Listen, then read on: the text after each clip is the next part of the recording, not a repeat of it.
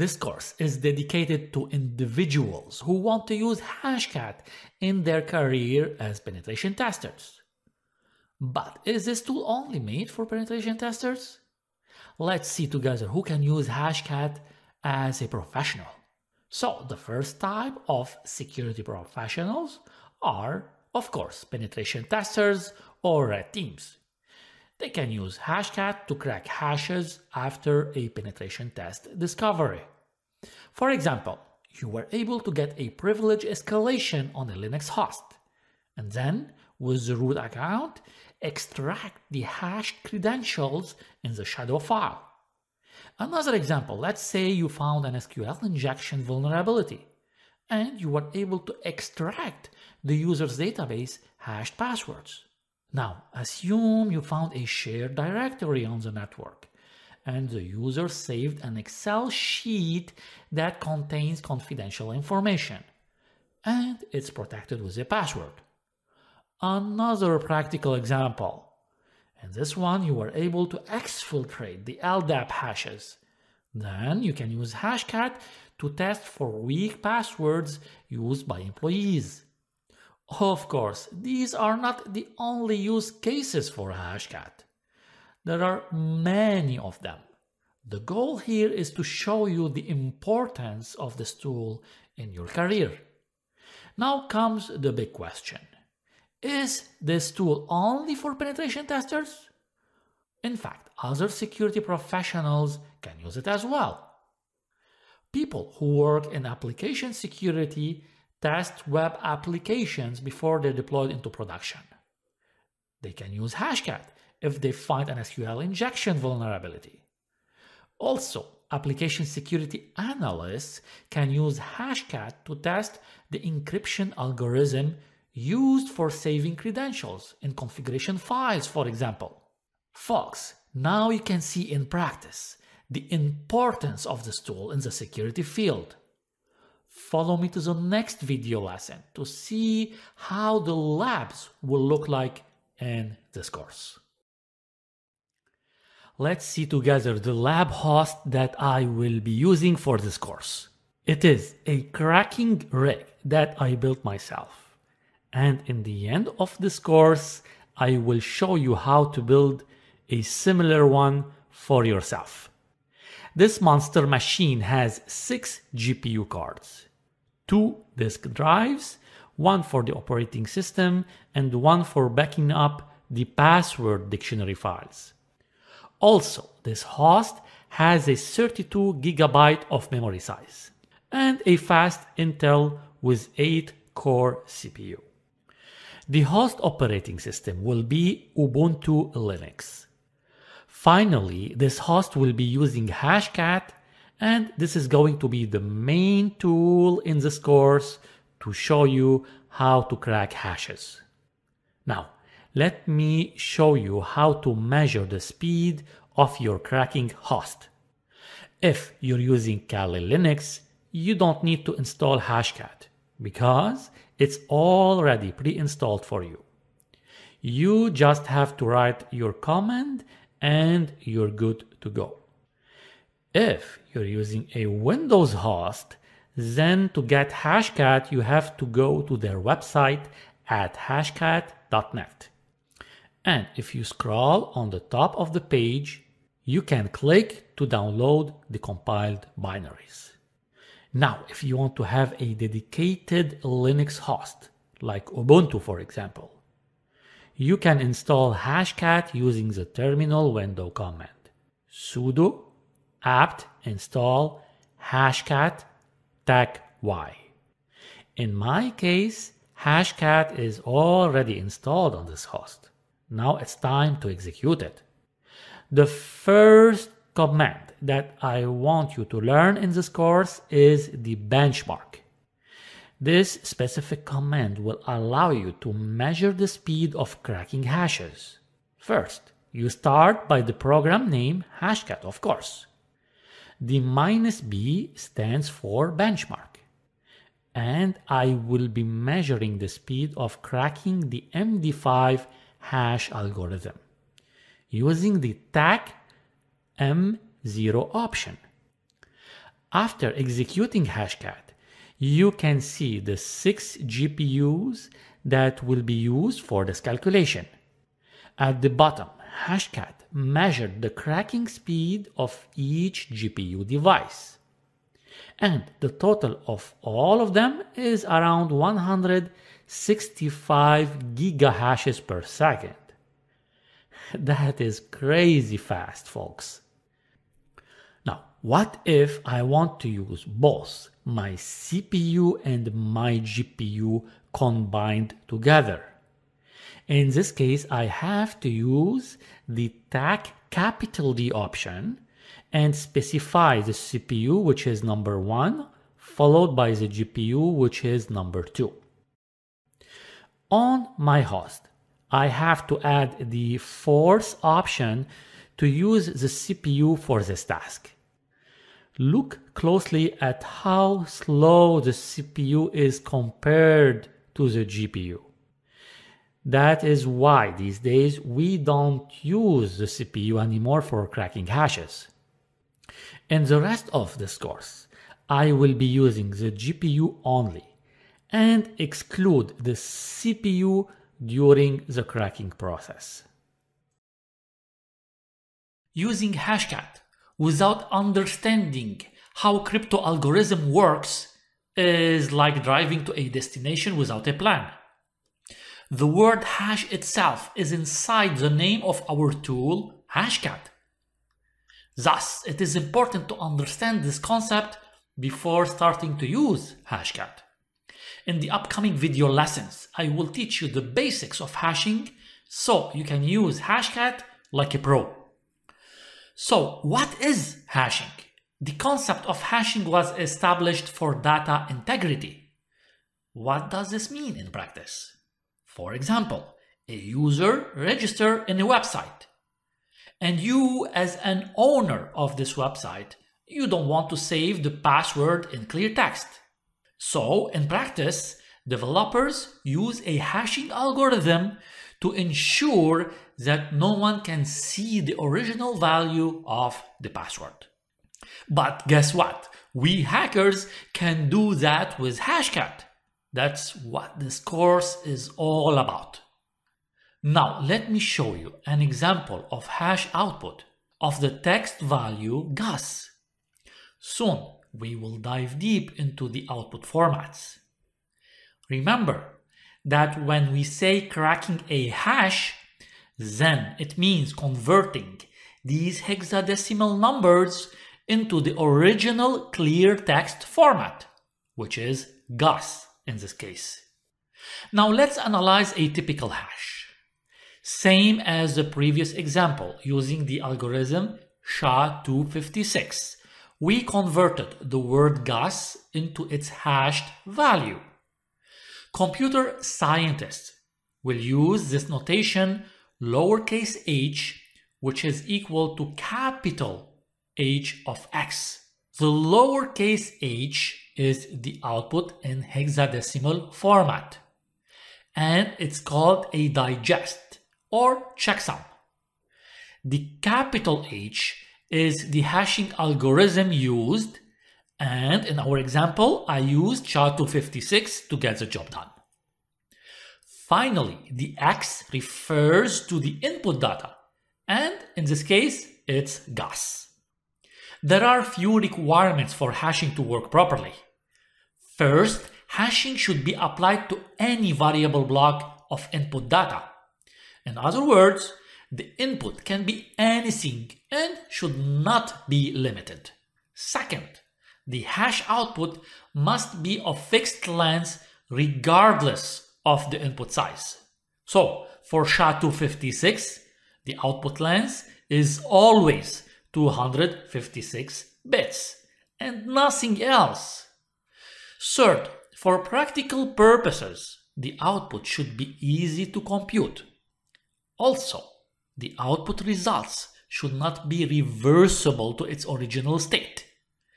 If you have the output or digest, you should not be able to calculate the input. But in this course, we will crack hashes and bypass this rule. Finally, two different input values should not have the same output. This is called a collision resistant. For example, Gus and John should not have the same digest output. Now let's see together where hashes can be used. Practically speaking, you can use hashing to generate a checksum for a file. By doing this, you can compare the generated checksum of the original file when you download it. The idea here, so you can compare it with the checksum that you generated after the download is complete. If they match, then no one has altered the file that you originally downloaded from the website. Thus, we ensure the integrity of this file. This concept is used also by antiviruses and intrusion detection systems to identify vulnerable files by using their file checksum value. Also, you can use hashing to store passwords in the database or a file. This technique will make sure not to store clear text passwords at rest. In fact, this scenario is one that we will use in this course to crack hashes. Why? Because we are interested in the password itself. There is a lot of hash algorithms that you will hear about in your career. In this section, I will list the most popular ones so you can crack them like a champion. The first one is MD5 and the digest output will look like this for the word gas. Take note that I will teach you more about each algorithm in the upcoming lessons. The second one, which is highly used these days, is SHA, and it has multiple versions and digest lenses. And TLM is the hash algorithm to store Windows operating system passwords. Again, I will talk more about it in the upcoming videos. Finally, the HMAC. In fact, this one is special because it uses a password on top of the hashing algorithm. Don't worry if it seems overwhelming for you. I will take the time to explain each one so you can use them in your career as a penetration tester with no hesitation. Message Digest version 5, aka MD5, is one of the common hashing algorithms. It replaced its predecessor MD4, which practically is not used anymore because it's not a secure algorithm at all. Word of caution. Do not use MD5 to store passwords. I will talk later about more secure algorithms for storing passwords at rest. This doesn't mean that MD5 cannot be used at all. Many applications and websites still use MD5 to verify the integrity of files. For example, here's the digest output of the word gas using the MD5 algorithm. The output of MD5 is 128 bits or 32 hexadecimal characters. Since that every hexadecimal character is equivalent to 4 bits, you do the math. And remember, whatever the input size is, the output size will always be 128 bits for MD5. Alright, let's see a practical example. To easily generate a hash, you can use an online hash calculator like this one. Here, you can see all the hash values for the word gas including MD5. Now, I want to elevate the challenge a little bit and use Python to show you how MD5 works using a programming language. I will be using the PyCrypto library, which has all the hashing and encryption objects. Don't worry, you will see it in practice. First, I will execute the update command. This is a habit that I have before installing anything on my Kali system.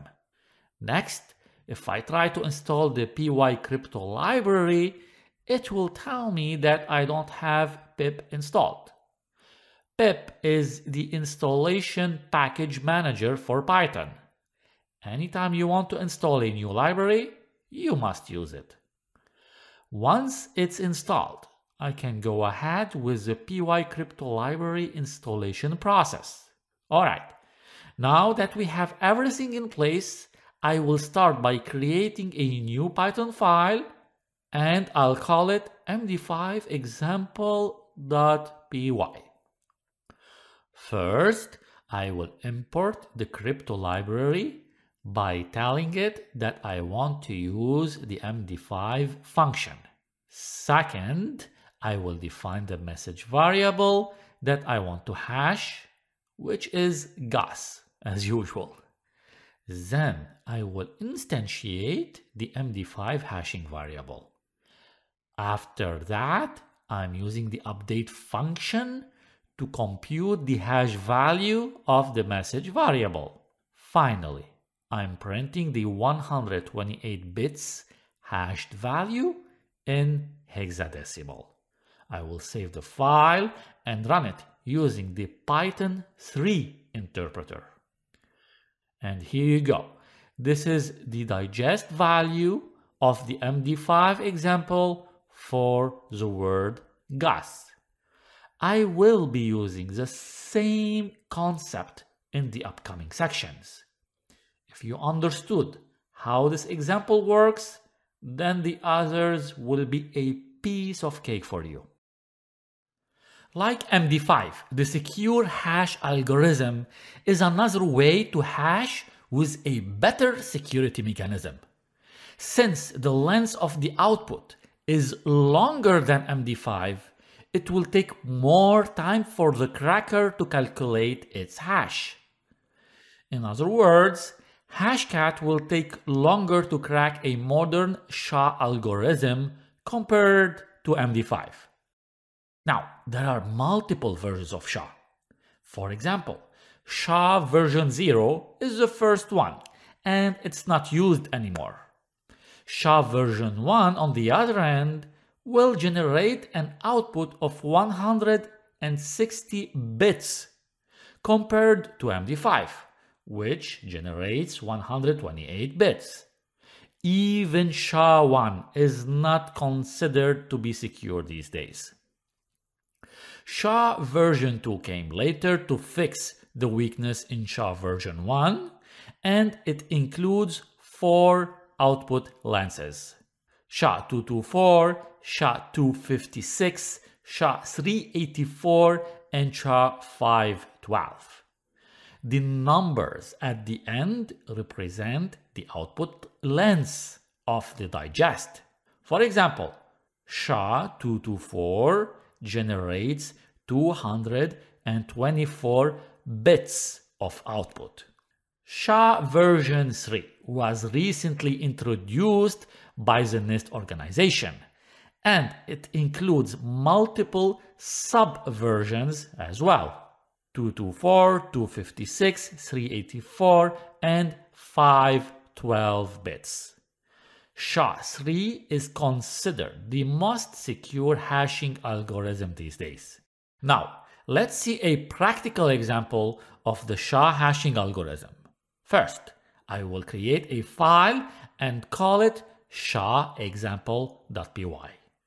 At the beginning, I will import the library in order to use SHA-512 instead of MD5. Next, I will create the message variable that I want to hash. After that, I will instantiate the SHA-512 object. Then I will use the update function to calculate the hash output. And finally, print the results to the terminal window. I will save the file and run it using Python 3. And voila, this is a 512 bits digest output of the word gas. I invite you to change the message and replace the word gas with something that you like to experiment with the SHA algorithm. Hash-based message authenticated code is another hashing algorithm. But the special one requires a secret key to use before applying the hash. What's nice about this algorithm is that it offers integrity and authenticity as well. In general, HMAC uses either MD5 or SHA-1 as a hashing algorithm. Hence, you have the notation HMAC MD5 and HMAC SHA-1. So how does it work in practice? Let's say that Tyrell wants to send a message to Joanna. Tyrell will call Joanna on the phone and tell her the secret key and that the hashing algorithm will be HMAC MD5. So, from now on, when Tyrell wants to send a message to Joanna, he will use the same key and hashing algorithm. First, he will write his message and then compute its digest with HMAC MD5. And don't forget, he will use the secret key that he shared with Joanna on the phone. Now, when Joanna receives the message and the hash, then she will use the same secret key to compute Tyrell's original hash using HMAC MD5 algorithm. If the HMAC digest matches the initial HMAC generated by Tyrell, then we can say the message was not altered and authentic at the same time. The authenticity is because of the shared key between Joanna and Tyrell. An important concept in HMAC is that the message is not encrypted here. It stays in clear text. So the whole idea is to ensure the integrity and authenticity of the clear text message. Now let's see how HMAC can be developed using my favorite programming language, Python. This time it will be a little bit different than the previous examples. I will create a new Python file for this exercise. First, at the top, I will import the HMAC object. Then I will define the secret key to use and make sure that the variable is a string type by using the str function. After that, I will create a variable to hold the message. This time, I will change gas to this is a message. Next, I will instantiate the HMAC object and pass the secret key and the message both as arguments to this constructor. And finally, print the results to the output window. We're done. I will save it and run it in the terminal window. Take a closer look. The output length is 128 bits because by default the Python library picks the HMAC MD5 algorithm. Now it's your turn to practice this exercise on your Kali box. Old versions of the Windows operating system used to store passwords in LM hash format. LM hashes were easy to crack due to a lot of weaknesses.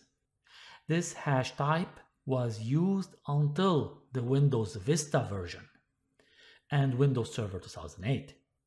But you can still enable it via the security policy settings. Nowadays, the Windows operating system uses NTLM version 2. And that is what we will be cracking in this course using hashcat. What does it look like an NTLM hash saved on the Windows PC? Here's an example of it. The first part is the username, then the user ID. The semicolon is the separator between each section.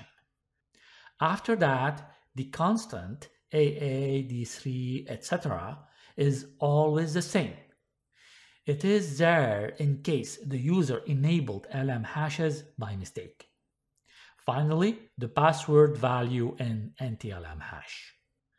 Take note that the hashes are stored in a SAM file under the config folder that resides in the system directory.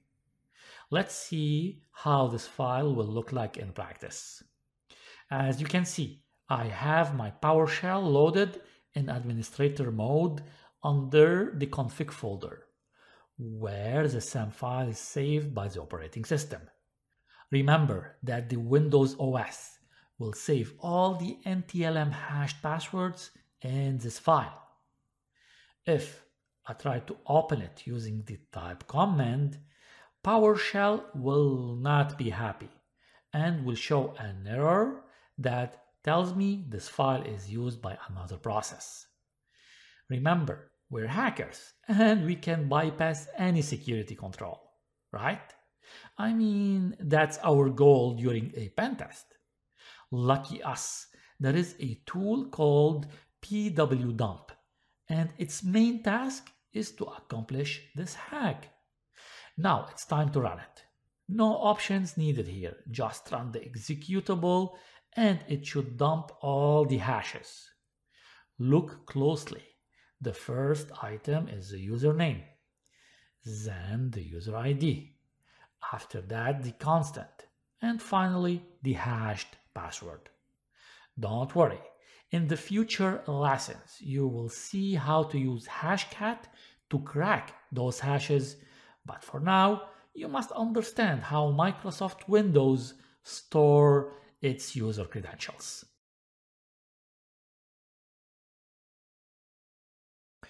Before I start explaining how a Linux operating system will store its user credentials, you will need to understand the salting concept first.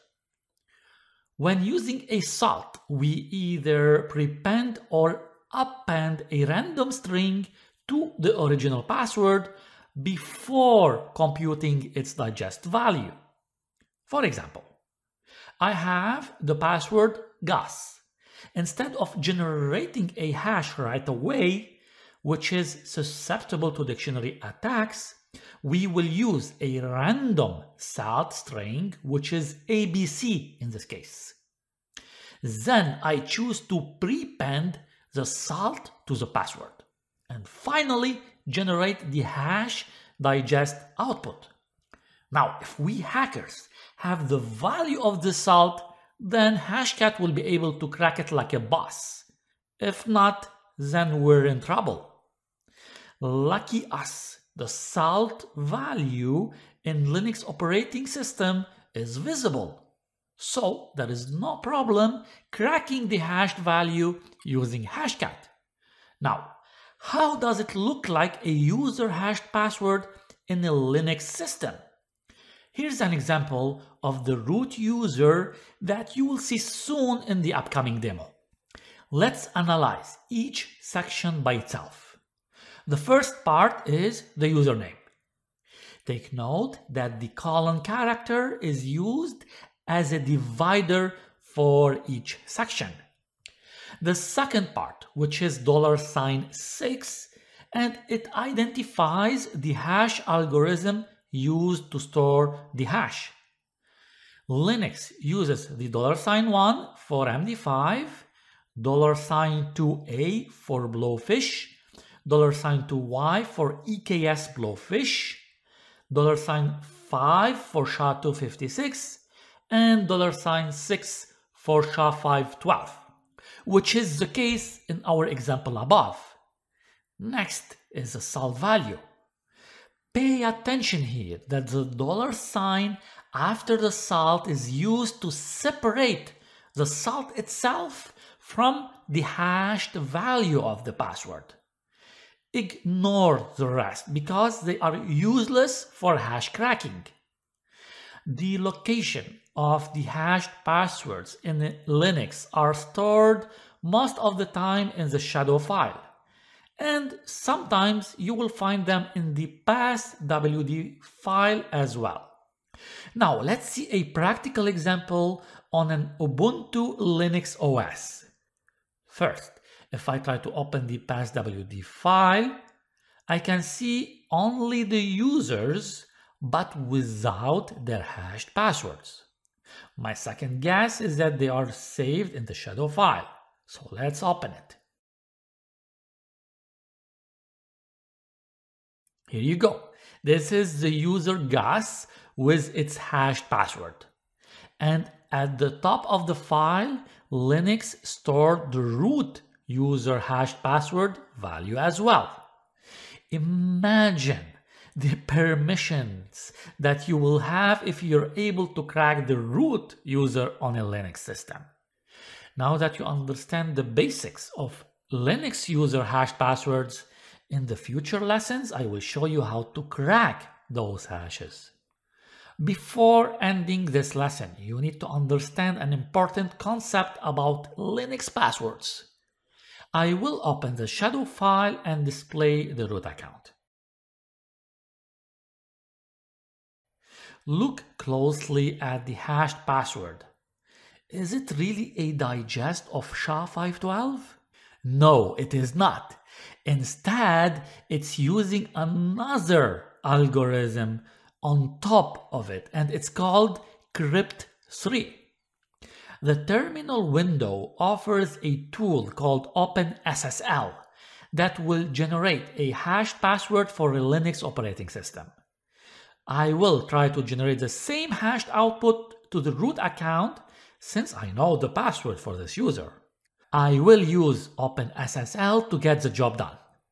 The first option will make sure to generate a hash compatible for users' credentials, which is Crypt3 algorithm. Next, I will specify that the hash algorithm is SHA-512 using the number 6. And finally, I will copy the salt value to use for this exercise. Once I press enter, the tool will ask me for the password that I want to hash.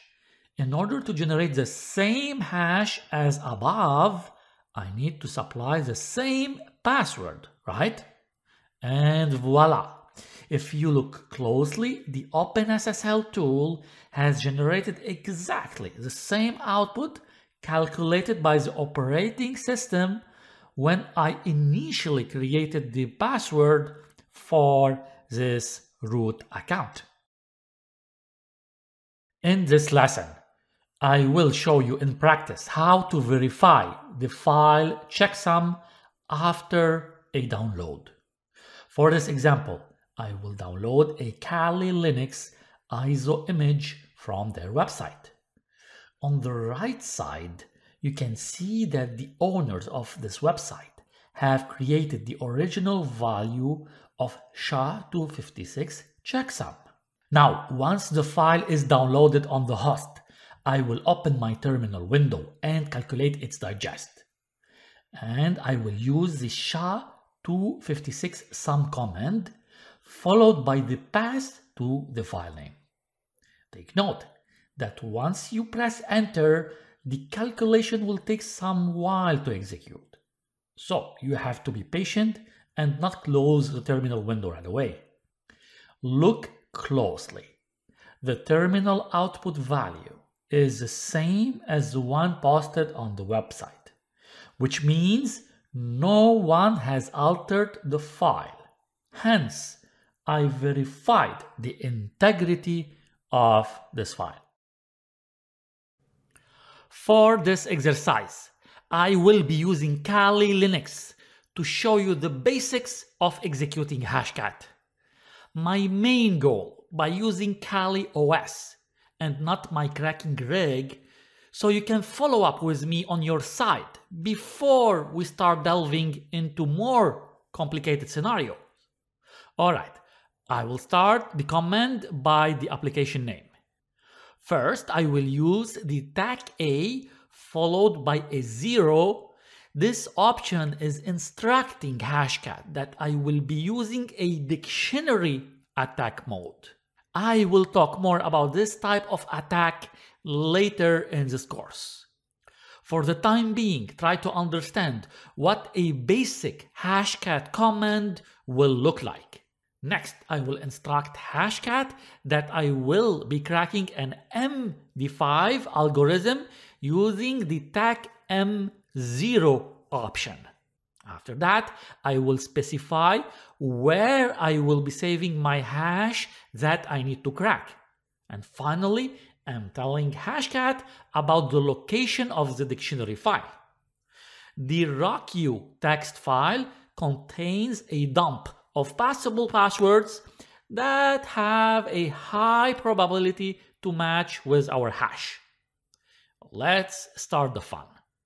First, I will create an empty file for storing our hash.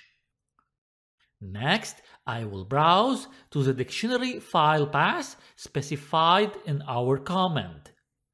If you look closely at the file, you can see that it is already compressed.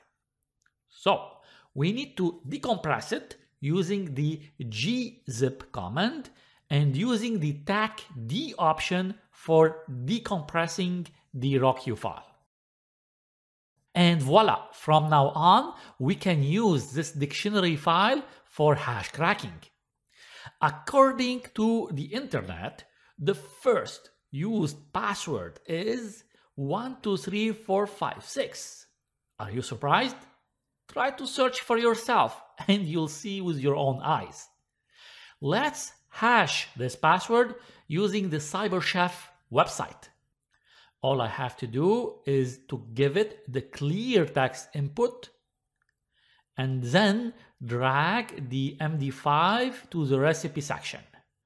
Now that we have the hash digest output, I will copy it and store it in the file that we created earlier for this purpose. I will use the Nano editor to get the job done. When I finish, I will press Ctrl O to save and then Ctrl X to exit.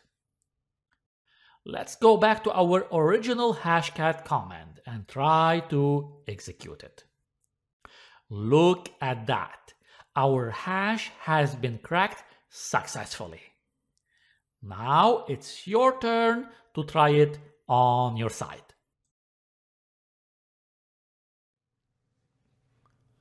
For this exercise, I will be cracking Windows hashed password for you to learn different types of hashes.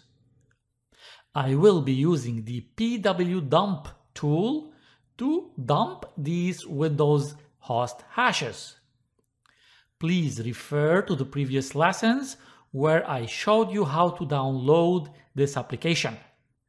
To run it, I will open PowerShell in administrator mode and browse to the directory where I installed pwdump. Once I'm in, I need to execute it. From this dump, I will choose the admin account to crack.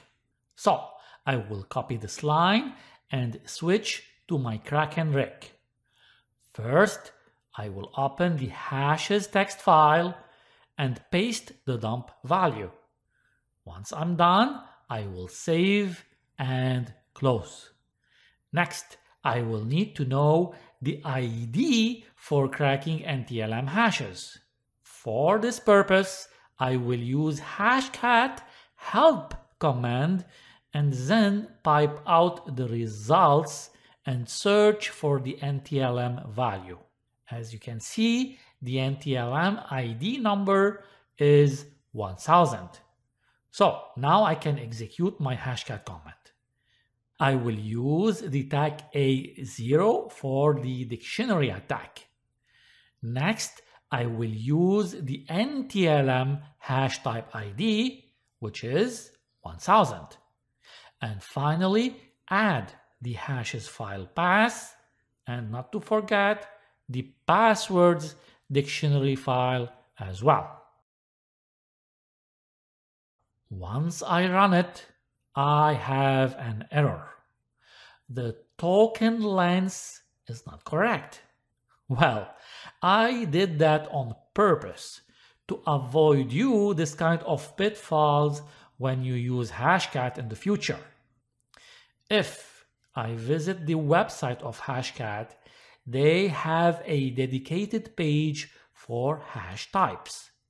When I search for NTLM, it shows what the input should look like. In this case, Hashcat is expecting the password's hash value only.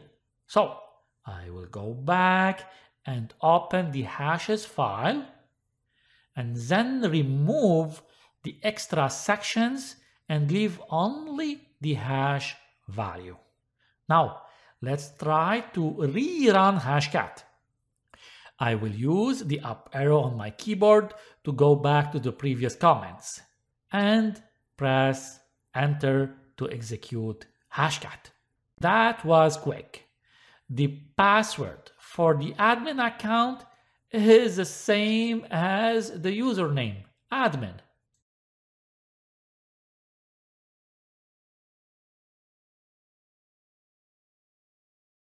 In this lecture, we will be cracking together a Linux password and my main goal is to teach you the different options in Hashcat.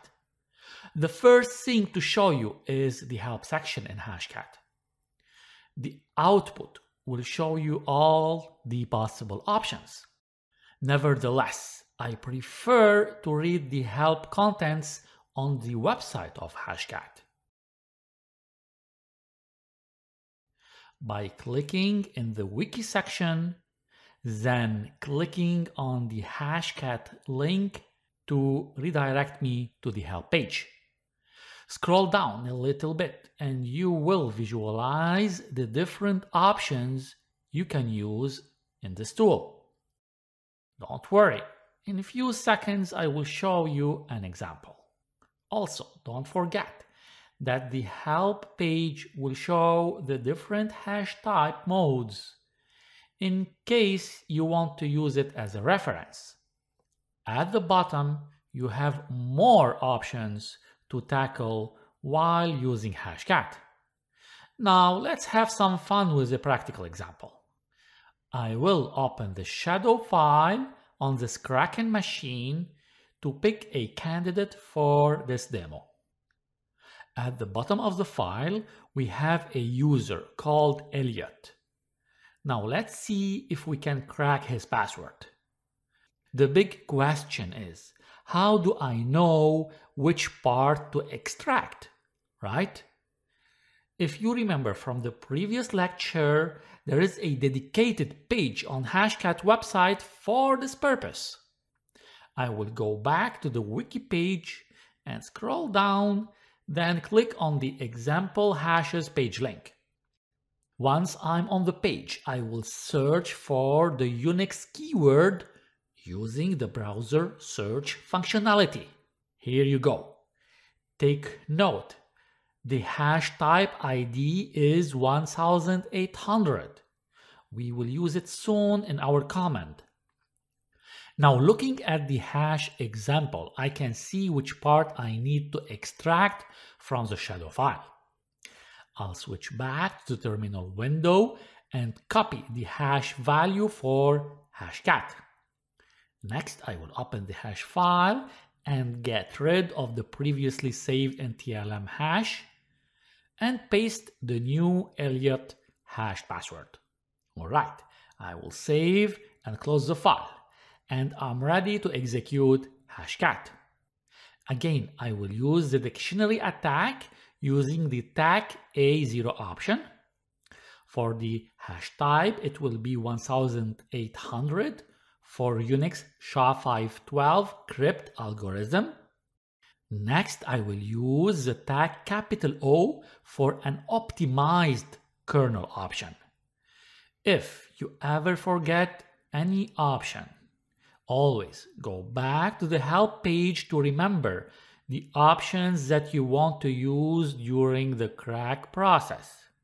Now, after that, I will use the TAC W3, which refers to the workload profile. Since the default option uses number 2, and in my case, I have a monster Kraken rig, so I can tune up the performance a little bit with no issues. Next, I will include a session name for this crack process. In fact, a session name will allow me to restore later if I decided to stop the cracking execution. Then I will use the tag lowercase o for saving the cracked value in a file. I'll open a new terminal tab and create the text file so Hashcat can save the results of the password after it's cracked successfully. One more option that is nice to have is the format for the output file. In this case, I've chosen to save the hash and the clear text password separated by a colon character. And of course, not to forget to specify the hashes file path and the dictionary file as well. And press enter. The cracking process has finished. Let's check it out. Oh yes, the password has been cracked successfully. Now let's check the results. The password for Elliot is hacker. In this lecture, I will walk you through the different attack modes that you will encounter while using Hashcat. Take note that this is just a preparation ahead for the future lessons where we will dive deep into each attack mode type. The first attack mode that you already saw is the straight attack and which I call the dictionary attack. You can name it potato if you want, as long as you know what the purpose is of using it. Next is the combination attack. This type of attack will mix different word lists or dictionary files together. For the time being, just focus on the big picture. We will dive deep into this attack later in this course. After that comes the mask attack. This attack type will use different techniques to inject ASCII characters into a specified set of positions. The brute force attack is a subcategory of the mask attack. And I have a dedicated lecture to explain how it works in the future lessons. Next is the hybrid attack, and its main purpose is to join a word list with a masked attack, or vice versa, where it will join a mask attack to a word list. Finally, there is a new type of attack mode, and it is called the association attack. This is fresh new in Hashcat, and it's not supported yet for production use. Check it out in the future when Hashcat will release it for production. Also, take note that I won't be covering this attack mode in this course.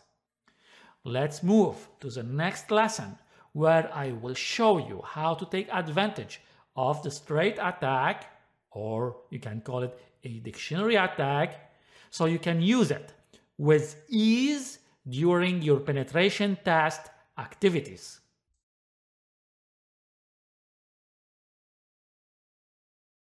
At this stage, you know what a straight or dictionary attack is. What if you want to download larger and smarter dictionary files that allow you to crack more complex passwords? the web is your friend. The easy method is just to open your favorite search engine and search for download a dictionary file. The search results are endless and you can pick your favorite one. Now for downloading large word lists, you can use the WeakPass website. As you can see, they have compressed dictionary files with large sizes. Let's take the challenge to the next level. What if you want to create your own dictionary files by downloading multiple files from the internet and merging them together? Let's get it done. A very popular GitHub repository that has good amount of word lists is called SecLists. I will download it locally to my Linux host. But first I have to make sure to copy the URL. Then switch to my Kraken machine and execute the git clone command. Once the download is complete, I will browse to the passwords folder here we have a lot of password files. To avoid making any mistakes, I will copy all the text files to the temp directory. But before doing that, I will create a folder for this purpose. The copy is complete. Let's go and check the new folder. To get the job done, I will execute the cat command to merge all the text files together. At this stage, we have a single file, but with duplicates, most probably. To solve this problem, I will first sort the merged file and then use the unique command to remove the duplicates. And voila! Now we have a new dictionary file that we built ourselves from scratch. Now you know how to create your own dictionary file. Mixing a dictionary attack with a set of rules will open the gate for a penetration tester to crack more complex passwords. In fact, Rules are a set of functions that allow you to manipulate dictionary contents. For example, change a word to lowercase or uppercase. A rule can append or prepend a set of characters, invert a word, or reverse it, duplicate it, or insert characters at a certain position. Also, it can reject some words based on a condition. And much, much more. Probably you're asking yourself, do I need to create all this by myself? Of course not. Hashcat already has built-in rules files that come pre-packaged with a set of rules. Let's see it in action so you understand visually what I'm talking about.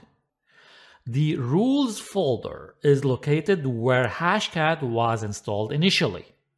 In my case, it's slash user slash share slash hashcat and then the rules folder. If you're using Kali Linux, it should be the same path location as well. Here you can see we have a lot of choices of rules files to pick from. But which one to choose? Soon I will show you how, but for the time being, know where all these files are saved on the disk. Let's take a peek at one of the files in order to visualize the contents of a typical rule file. For example, the second line will use the R for reversing a word and then U to convert to uppercase. Below it, the rule is appending numbers, and so on. You don't need to create your own rules file, but you need to understand its contents. That being said, let me show you how to use Hashcat help page for this purpose. If you go to this link URL on Hashcat website and scroll down a little bit, then you'll see all the possible functions that you can create with a rule file. In practice, we don't need to create a rule file. But which one is the best? There is an interesting article where they already tested multiple rules files against a set of passwords. If you scroll down a little bit, you will see a comparison table and you can see the winner on the top is dive rule. But on the other hand, this rule file has so many functions and took so many candidates in order to crack those hashes. In other words, it took longer to finish the crack operation. The idea behind this article is to find a set of rules that has a high probability of wins with a shorter time. The creator of this article wrote a set of rules and named it One Rule to Rule Them All. And check this out. This rule file has more cracking passwords capabilities with less time compared to the dive rule that comes with Hashcat. In order to download this rule file, we'll need to fetch it from their GitHub repository. Then copy it in order to clone it on our Linux host. And you can use the same steps on Kali Linux as well. Take note that I'm downloading the rule file under hashcat rules directory. Then I will try to copy it. But it looks like I need my sudo permissions in order to make this happen. Alright, problem solved. Now I have a copy of this file that I can use for my hashcat. It's time for the fun part. I will be cracking a hash from A to Z so you can see things in practice. The hash that I want to crack is saved under the hashes text file. First, I need to identify the hash value. Is it SHA or MD5 or any other type of hash? To get the hash type, I will use an online hash identifier tool and paste the hash. It looks like our hash is SHA-3224. Next, we need to find the ID of this hash type in Hashcat. I will use the help option combined with the grep command to filter out the results. Now that we know the number, we can start our hashcat command. The tag A0 is for dictionary attack. Then tag M will specify the hash type, which is SHA-224. Tag W3 and tag O for high performance. And after that, I add the tag R for rules option. And I need to supply the path to the rules file that I want to use in order to crack this hash. And finally, run it.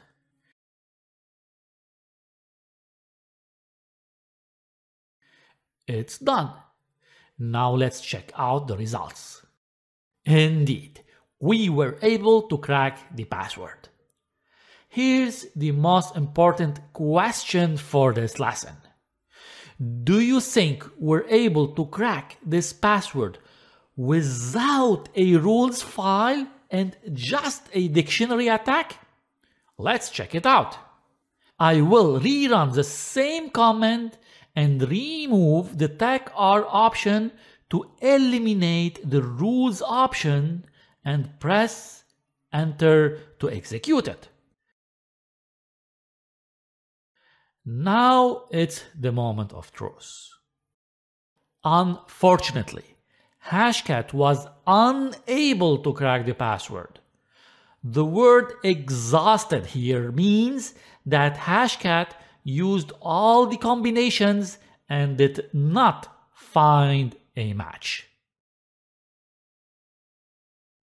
Creating your own custom word list is another skill that you need to learn while cracking hashes. The idea of this lesson is to show you how to extract words from a web server first. Then use the hashcat rules file to make a custom word list. This type of dictionary file is sometimes effective during your engagements because employees tend to use passwords related to their companies. Also, you can use this type of word list in a CTF or your security certifications like the OSCP. Let's see it in action. I will use my blog website to show you how it works. In your case, it will be your client or your employer website.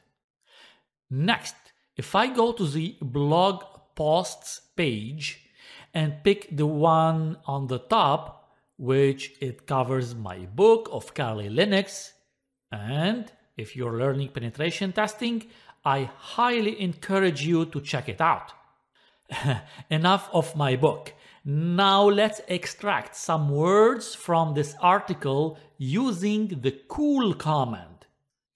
I will use the tag M to tell the tool that I want to extract words with at least six characters and ignore anything less than that. And finally, I will extract all these words into the extract.txt file. Let's check how many words did we extract using this blog post. Check this out. We were able to extract 1,313 words. Amazing, right? Wait, I'm not done yet. Next, I will use a rule file using Hashcat to create my custom word list. Now, if I check the number of words created in this word list file, we have more than 100,000 words created from a simple blog post.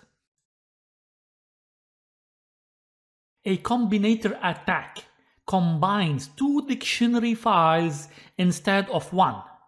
Isn't that amazing? Of course, combining two files together will take more time to crack a password, but we have a better posture than having just one file. Take note that the combinator attack is another type of attack and it's not just a dictionary attack anymore. The tag A1 will identify that this attack is being used so we're not using the tag A0 for the combinator attack. Also, take note that at the end, we must specify the path to the two dictionary files that we want to use in our comment. I will show you an example soon in the demo, but for the time being, try to understand the layout of this attack type. So, how does it work? Imagine that we have two dictionary files. On the left, we have at the top of the file the word password and Jessica in the second line. On the right side, we have another dictionary file and it starts with the number 111 and after that we have the exclamation mark. The combination of these two files will look like this, where it combines all the word possibilities together.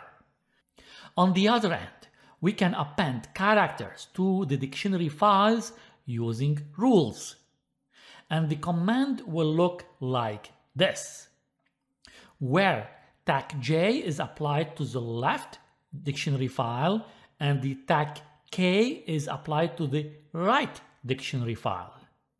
If we use the same dictionary files that we just saw in the previous example, then the combined output will look like this, where the underscore is appended to the first dictionary file and the exclamation character is appended to the second dictionary file on the right.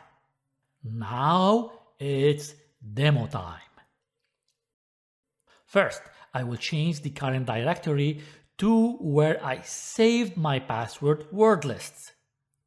Here in this directory, I have two files that I will use for this attack demo. I will use the tag A1 for the combinator attack. For the hash, I will be cracking the same one that we used for the previous rules-based attack lesson. And of course, include the name of the two dictionary files that I want to use for this demo. And press enter to execute it. This attack will take longer to execute, and I will take the opportunity to explain what you can do while Hashcat is trying to crack a password. Here on this line, it gives you the option of pressing the S on your keyboard to see the status of the cracking process. Or press P to pause it. Or B to bypass the current cracking process and go to the next one. I've rarely used this one, but it's good to know it's here for use. The C for the checkpoint, which will quit Hashcat and create a checkpoint so you don't have to start from scratch when you re-execute it. And finally, the queue will just quit and stop the cracking process. For example, I will type S on my keyboard. Now, if you look closely, it shows me what is the current status of the cracking process. It's in the running phase at the moment. And I generally look for the estimated time to complete the hash cracking process as well. In this case, we have 13 hours left to finish processing all combination attack scenarios. Be careful. It doesn't mean that it will take that time to crack the password itself, but it will take around 13 hours before Hashcat is out of choices and exhausted. Check this out. Hashcat has finished and was able to crack the password after around a minute. A masked attack is not just any attack. By learning this type of attack will allow you to analyze passwords and how to crack them like the pros.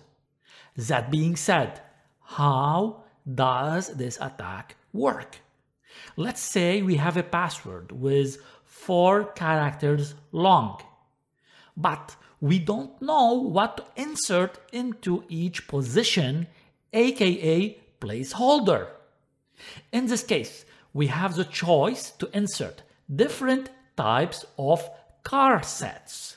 A lowercase character, for example, or uppercase character, a digit maybe, or a special character. In the upcoming lessons, you will learn how to analyze and insert a proper mask. But for the time being, focus on the big picture. Another key element to understand is how to calculate the key space of your attack. The formula is simple. You calculate the number of car sets to the power of the password length. Let's take a practical example. Let's say you want to fill up the four positions above with only digits. So, how many combinations will have in this case? 10 digits from 0 to 9, so it's 10 to the power of 4, where 4 is the length of the password itself. So we'll end up with 10,000 combinations.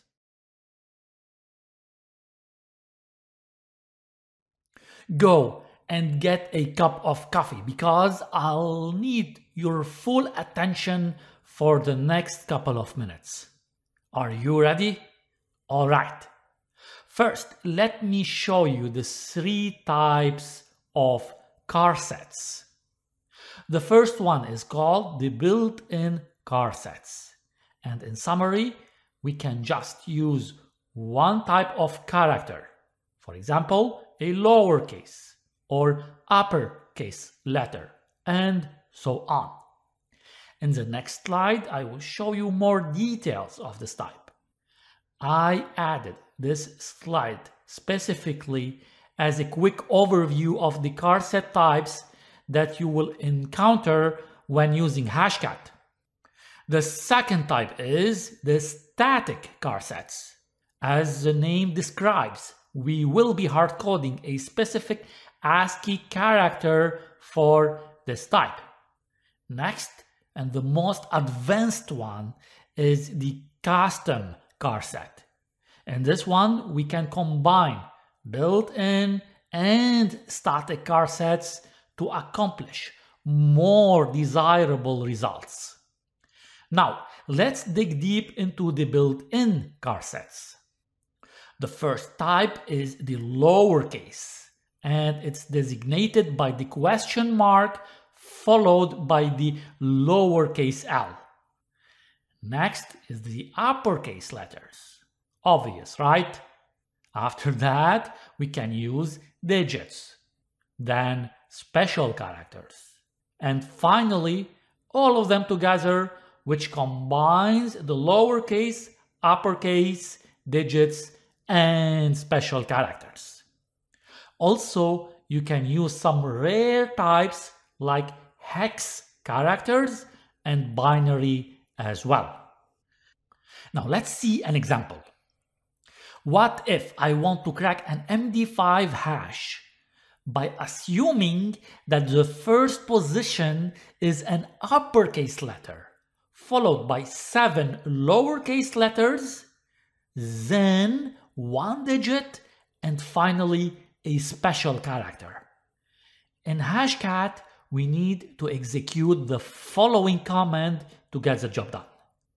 The Detect A3 for mask attack, then tag M0 for MD5.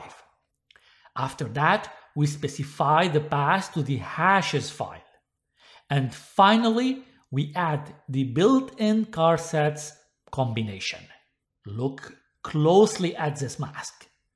What if I want to mix up, for example, at the first position, an uppercase with a lowercase character?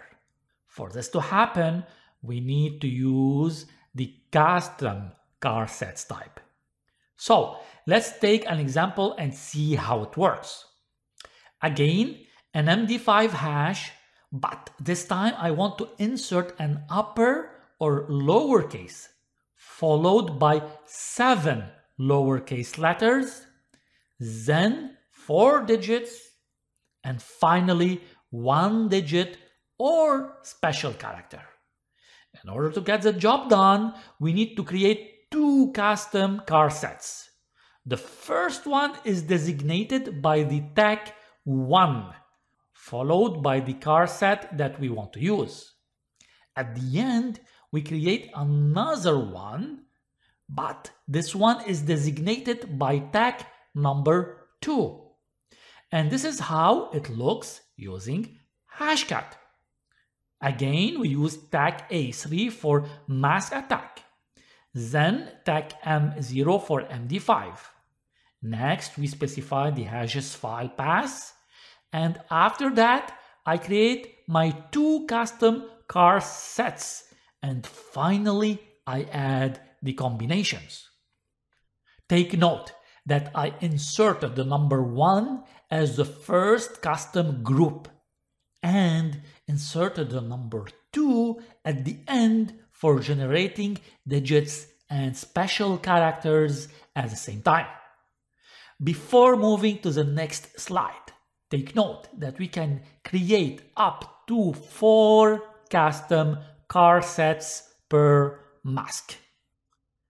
The last car set type is the static car set. The best way to describe it is by using an example. Assume we want to hard code the word Elliot, followed by four digits. And in the final position, we want to combine either a digit or a special character. The comment in Hashcat will look like this. This command combines the three types of char sets, not just a static char set. First, the word Elliot is static, right? Then followed by four digits, which are built-in char sets. And finally, a custom char set group, which is designated by the digit or special character. For static car sets, take note that if you want to insert the question mark in your mask, then you have to write double question marks in this case. And here's an example. If you want to use the word who am I followed by a question mark, then followed by two digits and one single special character. Folks, I have some good news for you. Hashcat offers already some files where they have already filled them up with a huge combination of masks.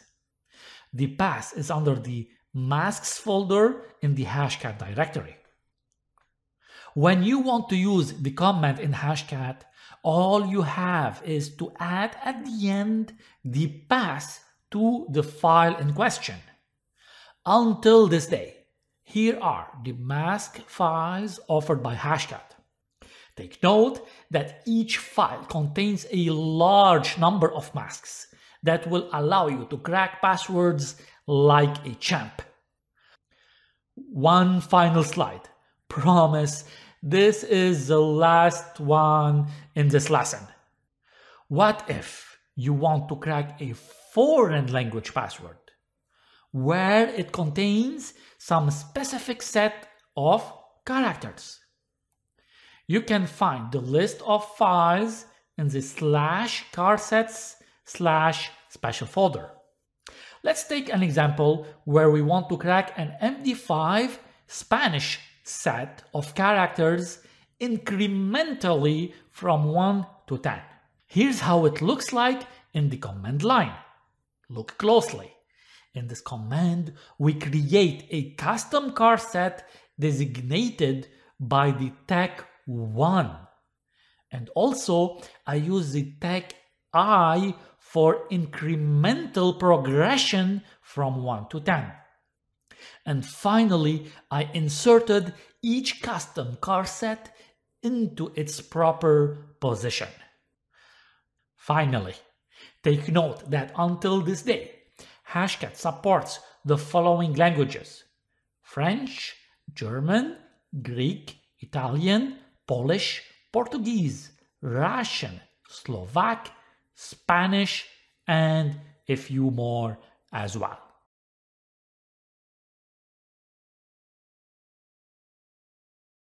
First of all, let me give you a quick peek at the list of masks files that are already built in inside Hashcat.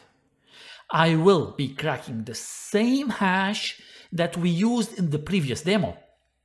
But first, I will be using the smaller masks file, which is RockU160.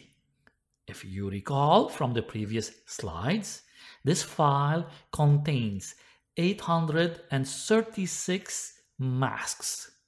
And here's the first top 10 that will be executed. Now it's time to run Hashcat. At this stage, I'm assuming that you understand all the options needed to crack the hash that we're interested in. I will press enter and pause it because I don't want you to wait for the tool to finish all the masks. I'm back. It took around 10 minutes to run this masks file, but unfortunately it was not able to crack it. So next, I will move to a bigger file, which is RockQ2 1800. Again, I will pause it until it finishes the execution. This one took around two hours to finish with no luck either. Now, let's go with the third RockQ file and see if it's going to work. Another pause to speed up the process. And I'll be back once it's done. I'm back. And this time it took a few hours to finish. And again, no luck for cracking the hash. At this stage, I'm going to cheat a little bit because I know the mask only exists in the largest file of RockQ. In practice, you don't know the final clear text value, right? That's why I wanted to show you how to proceed from the smaller file first until the largest one. And of course, you stop when the hash is cracked. So I will jump in and execute the largest RockQ mask file. To be honest, I have no idea how long this will take, but I will be back once the process has cracked the hash. Folks, it took 16 days to crack the hash. Yes, I'm not making this up. And if I scroll up a little bit, we can see the value of clear text. And here you can also see the mask used to crack this hash. You're probably asking yourself, why it took so long to crack this hash? The answer is that Hashcat had to go through 22,823 masks before getting to this mask. Does this mean that the mask attack is terrible? Of course not. Mask attack is very powerful, but you don't start with it. You always leave it until the end, when you're out of choices. I will discuss cracking hashes workflow in detail later in this course. The brute force attack, technically speaking, is trying all the ASCII characters combination from uppercase, lowercase, to digits, and special characters. Now let's see a practical example. Say we want to crack the MD5 hash from 1 to 7 characters. To get the job done, we use tag A3 for mask attack, then tag M0 for MD5, and tag I for incremental to start at the first position until the desired length. And finally, I add the mask for brute force attack with 7 characters of length. In practice, we don't use the brute force attack beyond 8 characters. Do you want to know why? Let me show you that on my cracking rig. Let's execute the brute force attack only for 7 characters in length without the incremental option.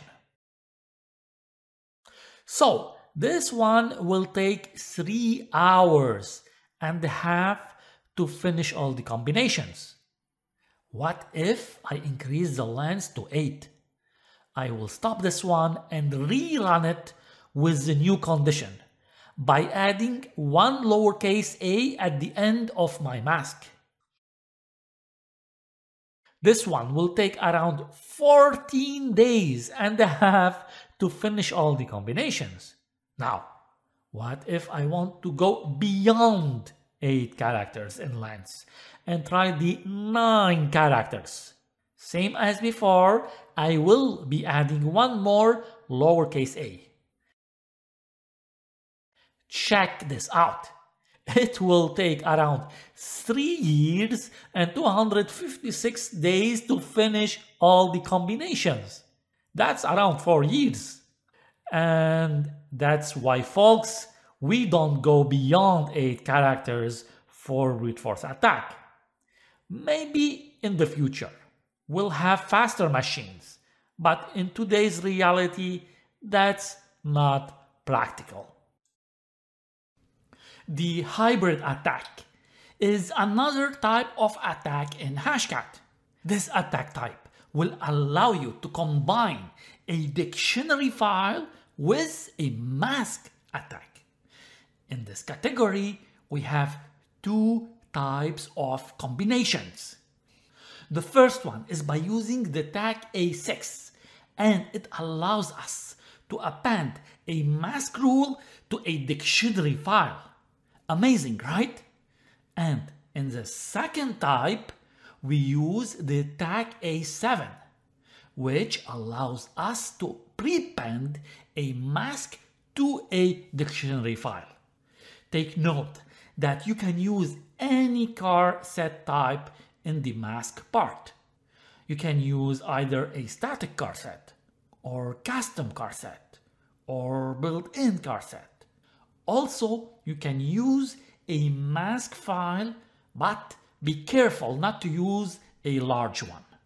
Now, let's see a couple of examples using each type of hybrid attack. In the first example, I'm appending a mask attack to the dictionary file rockyou.txt.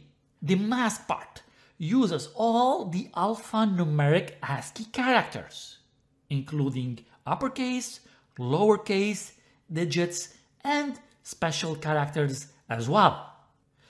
In the second example, I am prepending a mask using the tag A7 that starts with all set of characters first and then five lowercase characters. In this demo, I will be appending a mask to a dictionary file.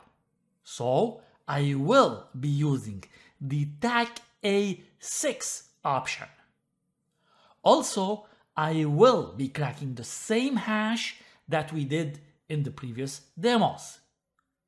Next, I will add the incremental option to make sure that I cover all the combinations in the mask attack. After that, I will define my custom mask, which combines digits and special characters. Then I will include the path to the hash file and not to forget the path to the RockYou dictionary file as well. Finally, I append my mask rule, which contains a maximum of 5 characters. And press enter.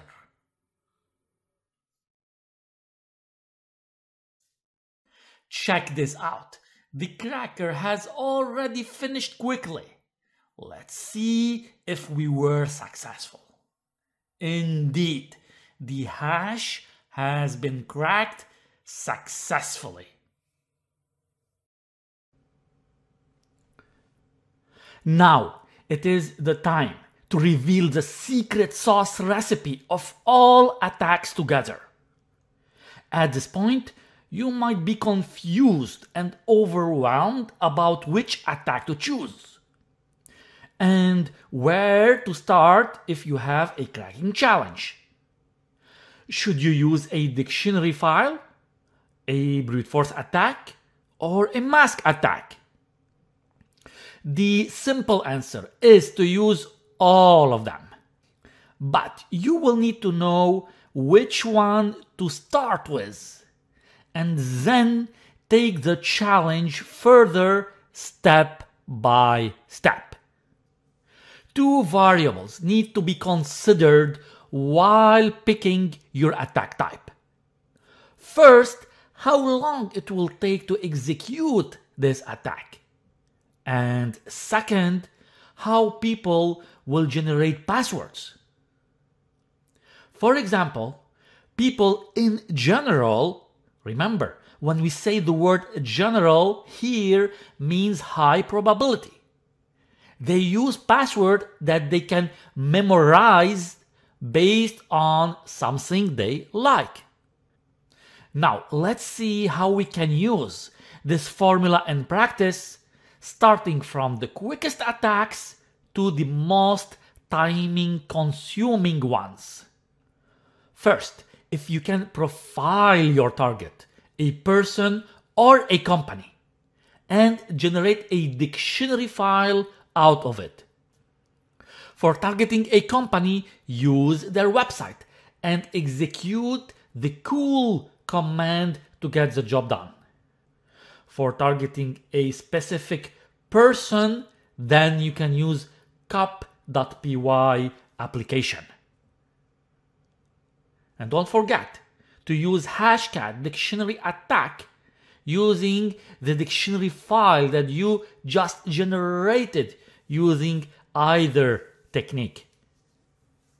After that, use a dictionary attack using the rockyou.txt dictionary file. Next, use a dictionary attack using the rockyou.txt dictionary file combined with a rule file. Then try to brute force the first eight characters if you have a powerful cracking rig. And if you don't, then skip this step. After that, use a dictionary attack with a very large word list along with a rule file. Next, use the mask file RockU160. Then use the combinator attack with the RockU.txt file combined together. After that, use the combinator attack again with the RockU.txt file combined with a large word list.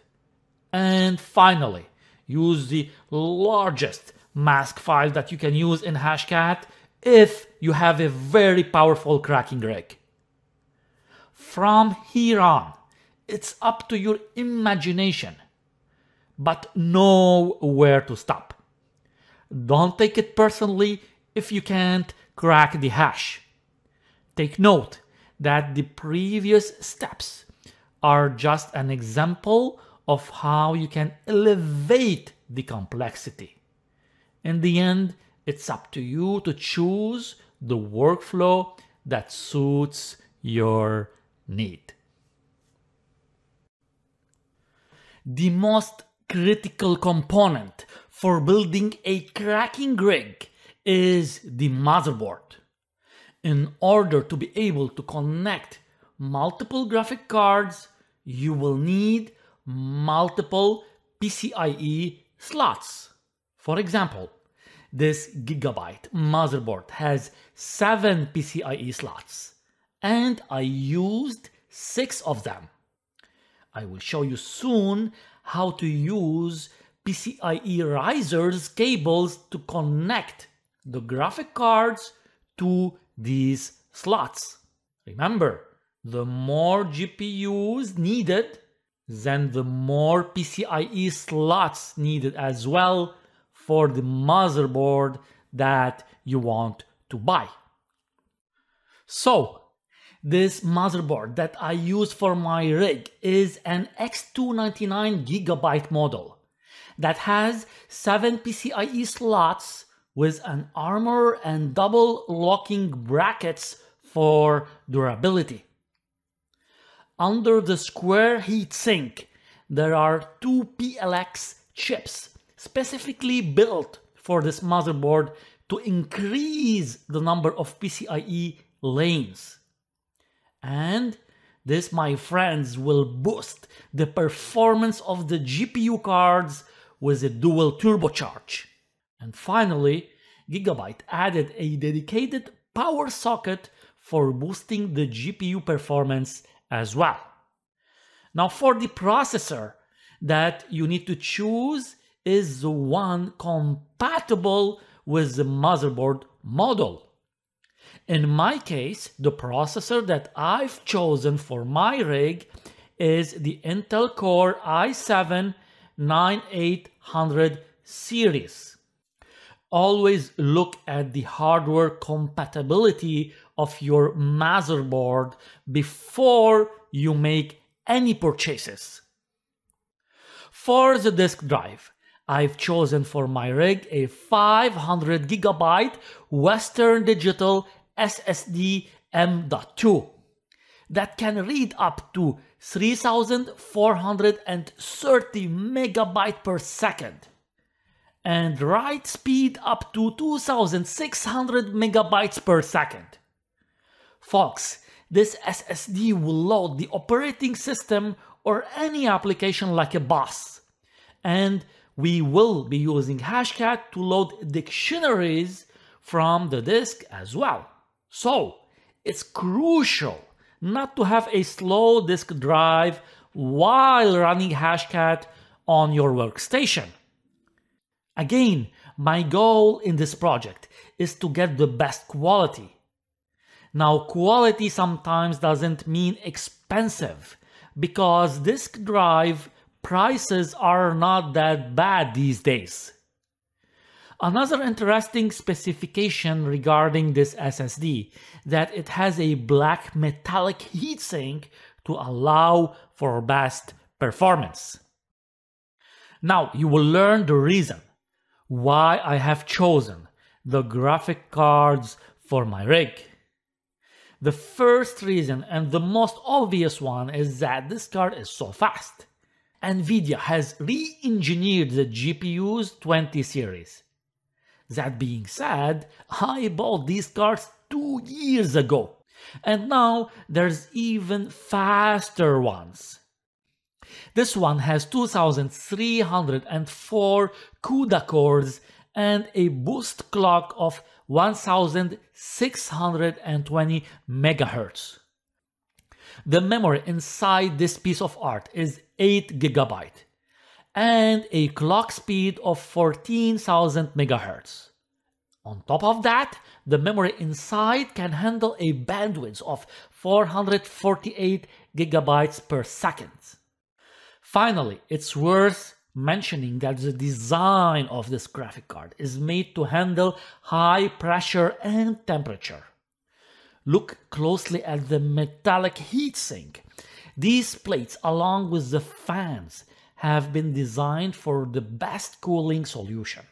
Also, it's good to know that in this project, I installed six graphic cards in total. For the PCIe risers, we will need them to connect all the graphic cards to the motherboard. All I want you to know about these items, if you want to build your own cracking station, choose high quality risers. I will remind you that all the pieces that were used in this project are available in the resources of this section. Under the pressure of cracking hashes, your workstation can start burning for real in case you get a cheap power supply. In fact, each graphic card can consume up to 175 watts and the six of them will consume around a thousand watt. That's why I've chosen a high quality PSU for my rig that can support up to 1600 watts. That's not the only reason that I've chosen this specific PSU. If you look closely, this monster support 9 VGA cables. Also, we will need three SATA cables for powering the PCIe risers. In fact, I used one cable for each two risers. Finally, I needed a power supply that has two plugs for the CPU because the motherboard will need two of these. Again, it depends on the motherboard that you'll have to buy for your rig. For the memory, I installed four of them in my rig, each equivalent to 8 gigabyte. So the total will be 32 gigabyte of memory for this workstation. Maybe you're saying, but that's too much. Maybe that's right. But again, I want my resources to be ready during the hash cracking process. Also, it's good to know that this RAM has an RGB light that will shine all the time as long as the PC is turned on. That's all you need to know in order to build your own cracking rig. At the stage, you can choose your own components. But remember, always refer to the motherboard hardware compatibility before you make any purchases. And don't forget to check the number of PCIe slots on your motherboard. Also, check that you have enough power to run your rig. Finally, make sure that the power supply will include all the power cables needed for your project. This is it, the end of this course. And I would like to take the opportunity to invite you to check my book of penetration testing to learn more about hash cracking and many more hacking lessons so you can take your career to the next level.